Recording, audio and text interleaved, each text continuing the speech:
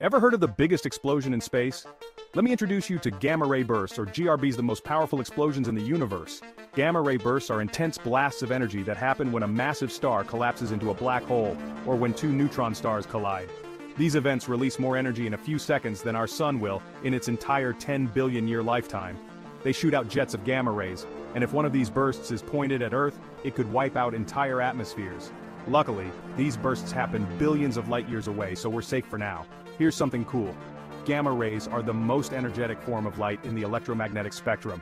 We can't see them with our eyes but they're powerful enough to penetrate almost anything in their path. Scientists use space telescopes to detect these bursts and studying them helps us understand the extreme physics of black holes, neutron stars, and the early universe. Gamma ray bursts may be rare but they remind us just how violent and unpredictable the universe can be. What else do you think we'll discover in the vastness of space? Stay curious!